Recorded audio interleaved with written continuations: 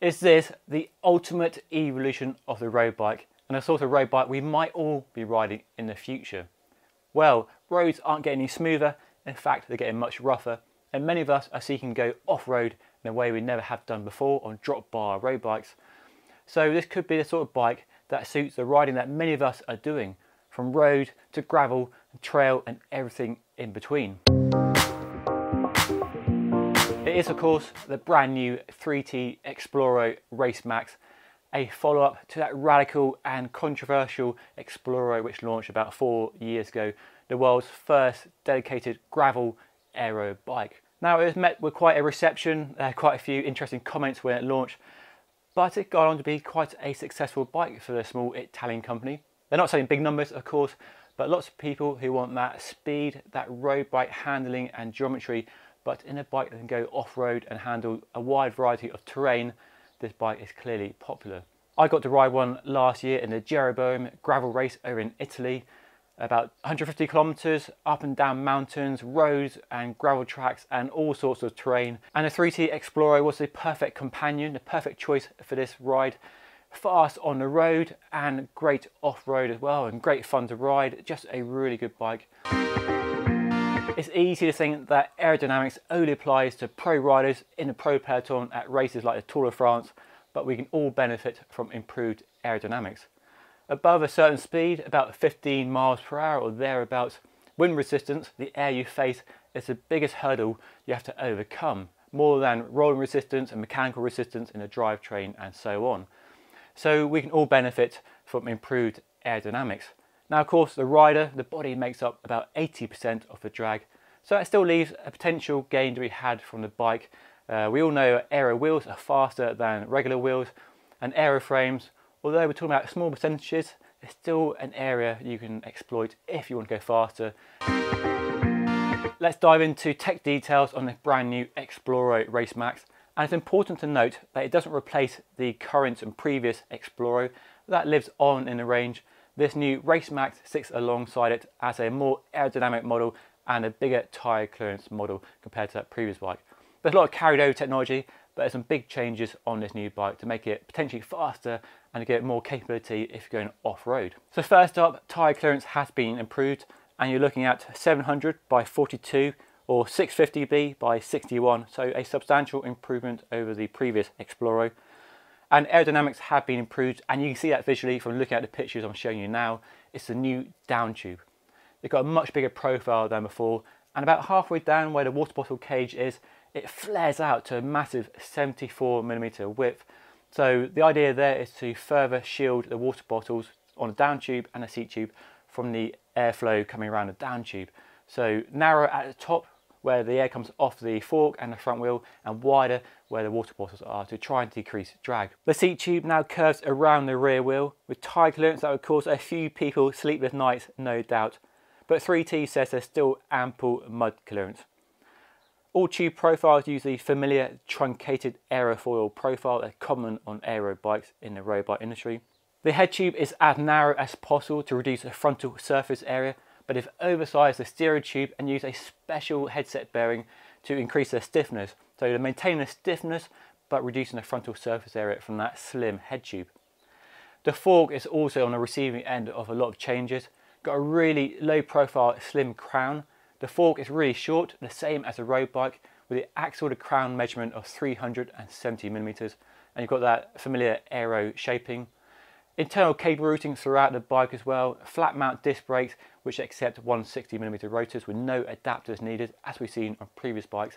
And then out back we have both chainstays are now dropped as we first saw on the Open Wide which of course was designed by the same person, Gerard Vroomen, who had designed this new 3T Exploro Race Max. So they've dropped rear stays, both increased tyre clearance and improved stiffness at the back end. There's the same aero seat post as before with an internal seat clamp and thankfully they switched from their really fiddly uh, 3T saddle clamp, which is really difficult to get the saddle at the right angle in my experience, to a simple single bolt Ritchey design, which should be much easier and more reliable to use than the previous design. And you can retrofit it to a previous Exploro if you're a current owner, so good news there. The geometry is largely unchanged from the previous version, so if you're upgrading, you won't find a dramatic difference. One big change though is the move to six sizes rather than the previous four, so much easier for a wider range of rider heights to fit this new bike. Uh, geometry details, the chainstays are the same diddly 415mm length as before, thanks to dropped rear stays I mentioned previously.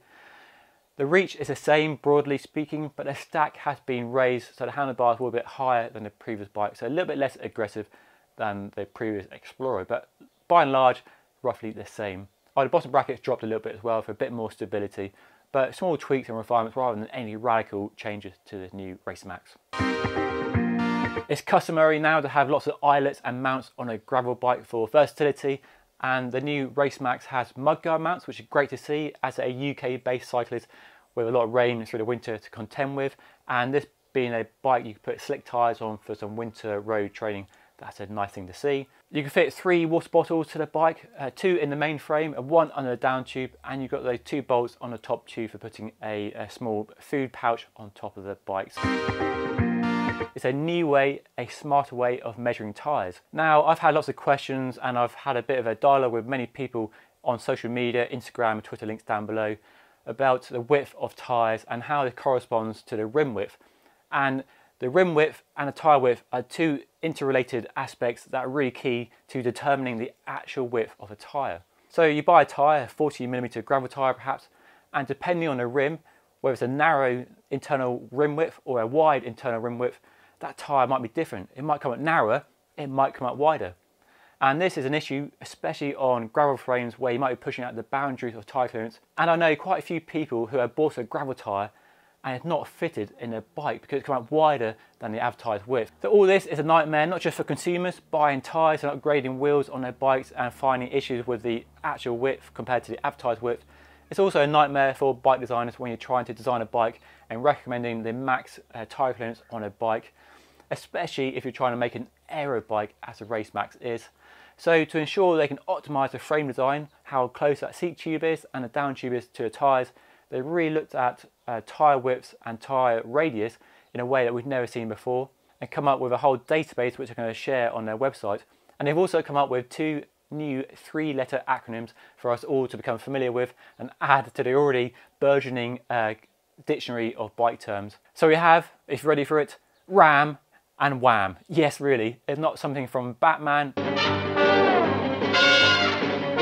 It's actually two really interesting and quite common sense ways of measuring a tyre to give you the actual dimensions of that tyre. So RAM is short for radius as measured and it's the radius of a tyre measured from the axle.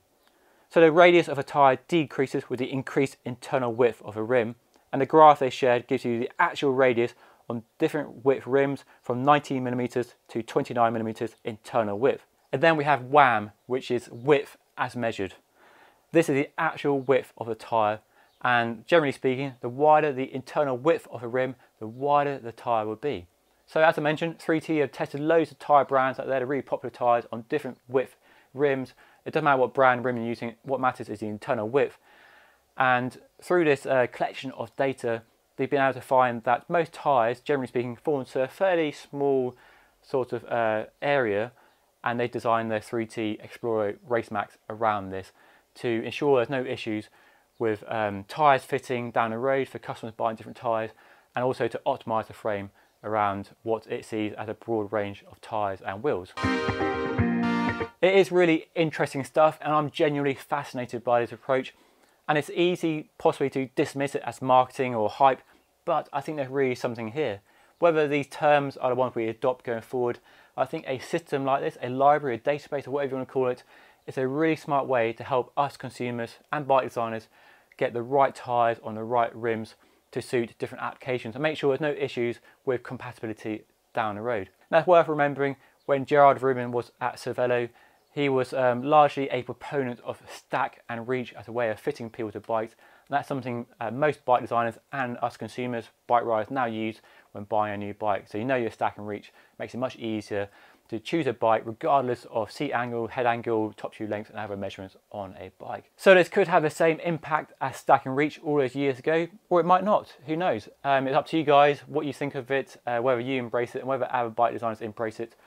but I certainly think there's a desire, a need for a system like this which makes it easier to choose the right tyres on the right rims for your bike and your application of riding. And then we come to builds and prices and here it gets really interesting because 3T has identified three target customers, three typical customers for the new Exploro which it calls all-round, race and the maximizer.